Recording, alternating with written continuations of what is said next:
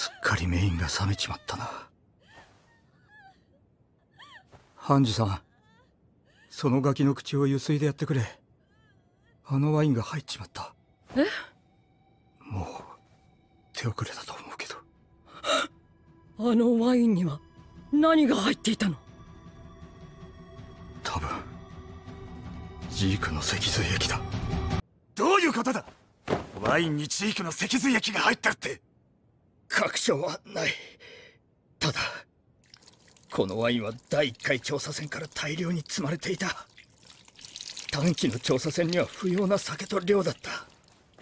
もう一度。そして俺がここで料理人としての立場が安定してきた頃になってこのワインを兵団組織交換団に優先して振る舞うよう言われたんだ。誰からだ？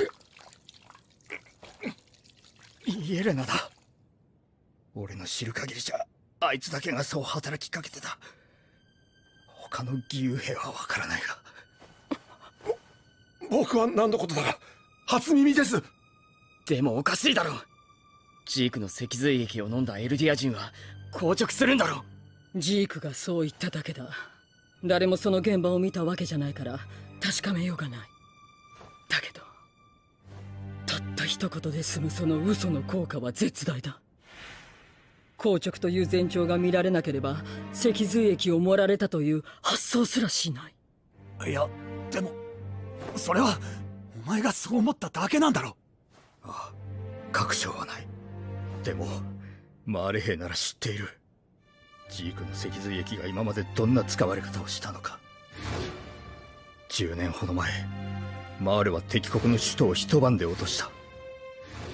何百もの巨人が街中に湧いて出たからだ。そんなことでも企んでなきゃ。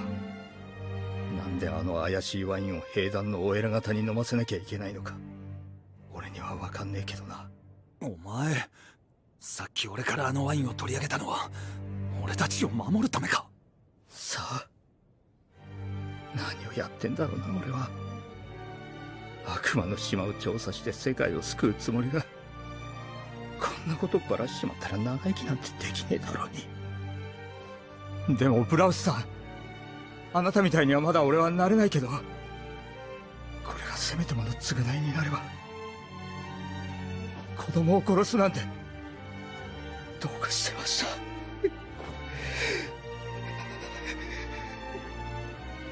いいか